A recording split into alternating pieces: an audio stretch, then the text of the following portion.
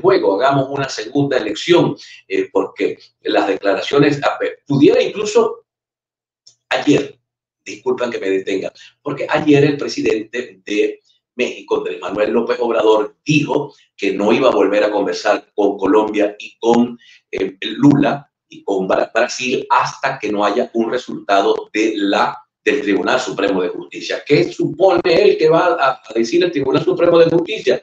El Tribunal Supremo de Justicia tiene dos opciones. Una, una de las opciones es decir que Maduro ganó y seguir arreglando la carreta hacia adelante. La otra pudiera ser que por los problemas del fraude, de la, del hackeo, es más conveniente repetir las elecciones. Esta segunda opción cada vez toma como que más fuerza ante la imposibilidad que tiene Maduro. De modo, de todas, todas, no se sostiene en el poder un periodo más a la fuerza, no, no hay modo, no. Eso sí lo tengo yo más o menos mediante mi observación del el horizonte eh, geopolítico nacional e internacional, yo no veo ninguna posibilidad de que Nicolás Maduro se mantenga en el poder a la fuerza. Eso no lo veo con un país que dice y un mundo que dice, esas elecciones no las ganaste tú. Gracias, Nelson. Muchísimas gracias. Entonces, eh, vamos a esperar que voy a leer un poco la nota, porque creo que eh, lo, de, lo de Lula, lo del asesor de Lula, es una nota muy interesante que nos pudiera dar una luz, porque estas, estas no son puntadas sin dedal. Estas son cosas, mis queridos amigos, que se dan conversadas que se dan conversadas. Leo la nota, el, principal asesor. Dale, se me metió algo aquí que yo no pedí, porque vamos a meterlo con el país de España o con hoy día Córdoba, que es un periódico de la Argentina, porque ahora todos los periódicos quieren cobrar por ser leídos, ¿no? Y es lógico, tienen que eh, mantenerse. Eh, a ver, a ver, vamos a, mandar a alguien a dormir aquí.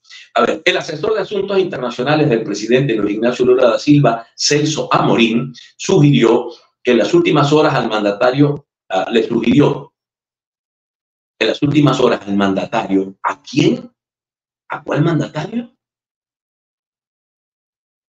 Pero ¿a quién se lo, se lo digo? No dice acá. Se sugirió a Maduro. No sé la repetición de las elecciones en Venezuela como solución a la crisis política que se agudizó tras los comicios del 28 de julio. Amorín introdujo la idea de manera informal, informal al Ejecutivo del Palacio de Planalto tras entablar diálogos con otros actores internacionales. Y según confirmó el diario local Valor Económico, se trata de una iniciativa que no ha sido abordada con Colombia y México, los otros dos países que están junto con Brasil negociando entre el oficialismo y la oposición venezolana una resolución al problema. Esto no es verdad. Esto es un globo de ensayo.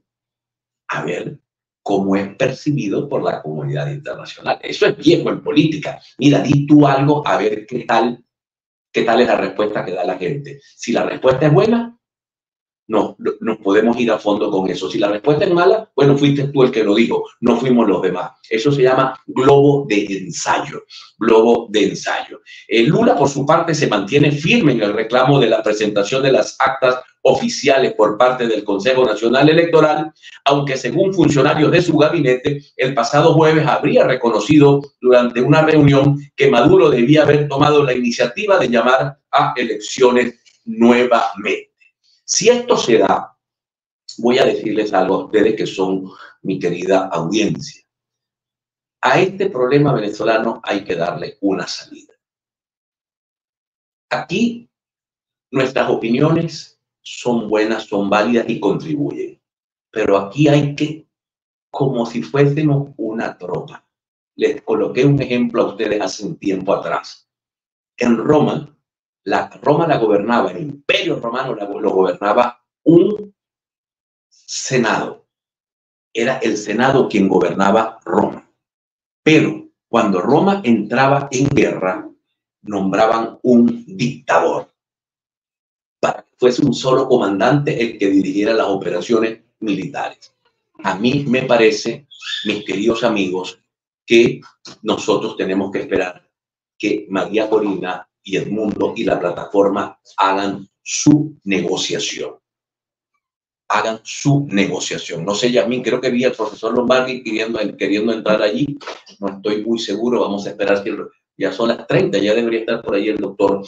Así pues que aquí hay que esperar la propuesta que pueda hacer quién, María Corina Machado, que es quien hace la propuesta, que es quien dice, vamos para allá, vamos. No podemos dividir. Esta fuerza no se puede dividir.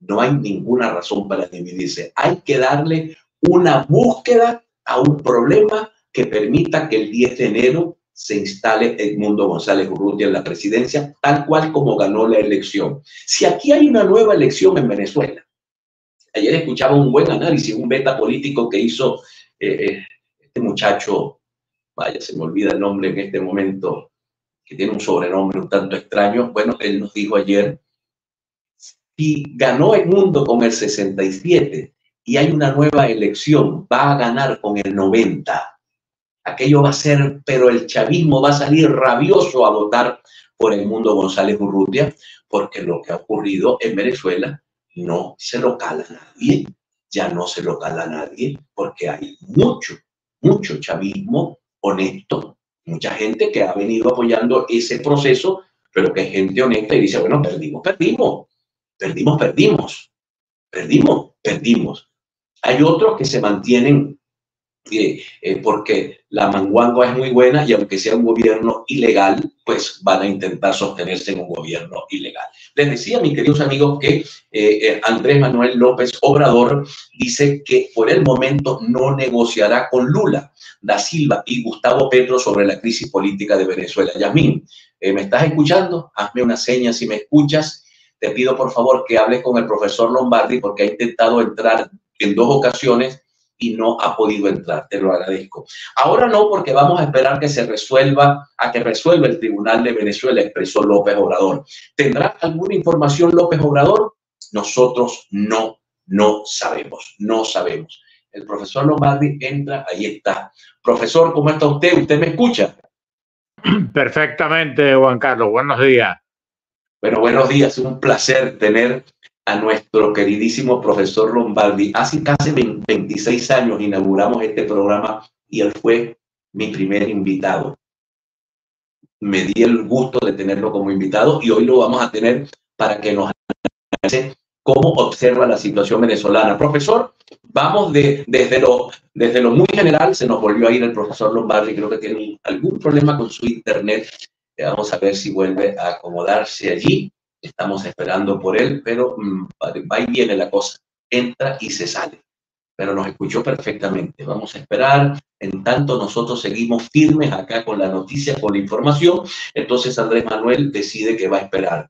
Eh, a, mí me hace, me hace ruido esto que dijo Andrés Manuel López Obrador, a menos que él tenga algún pitazo alguna información. Ustedes saben que ese tribunal responde a los intereses de alguien, ya hay la gracia ese, ese tribunal no, no es un tribunal autónomo, lo tenemos todos por sabido en Venezuela, el propio madurismo sabe que eso no es así. Entonces yo no sé si Andrés tiene un pitazo, pero ¿qué pasa si ese tribunal ordena la repetición de elecciones en Venezuela? Entramos en una etapa, en otra etapa. Todo es una complejidad, todo es una complejidad. Eh, Canadá expresa su apoyo a las gestiones de Brasil, Colombia y México en torno, al tema. Vean ustedes cómo el gobierno de Canadá, que es un gobierno progresista, es un gobierno, digamos, de centro izquierda, ha decidido darle un espaldarazo acompañando a los Estados Unidos, como siempre Canadá, eh, para ver si es posible, si es posible que este trío de países de la izquierda latinoamericana logran un arreglo con Maduro que tenga, que permita una salida a la crisis. Ellos lo que están buscando es una salida a la crisis. La salida a la crisis puede ser una, reconocimiento de Maduro que reconozca que ganó, cosa que pareciera difícil a esta altura del, del juego, o que haya una repetición de elecciones, o el tercer escenario, que es el peor escenario, es que Nicolás Maduro se alce con el poder aísle Venezuela, nos convirtamos en una especie de Corea, de Corea del Norte y la situación se haga muy compleja para todos los venezolanos. muy compleja para todos los venezolanos. El canciller Murillo, que es el canciller de Colombia, ratifica a Blinken, el, el canciller de los Estados Unidos, posición de Colombia sobre el papel de la, OEA en la crisis venezolana. Murillo dijo que la OEA no es un escenario neutral. Eh, eh, Petro no quiere nada con la OEA. La OEA no es un escenario neutral. Bueno, allí las cosas se toman por mayoría, ¿no? Independientemente de lo que piense el señor secretario general, las decisiones en la Organización de Estados Americanos las toman los, los cancilleres, los, digamos, los países que tienen su delegación allí. Eh, no es un escenario neutral, pero se acaba de, de, perder una solicitud de un documento que era un documento absolutamente zanahoria, que lo único que pedía era que mostraran las actas y México, Colombia y Brasil. Eh, México se, no, no apareció, no, no, no tuvo representación.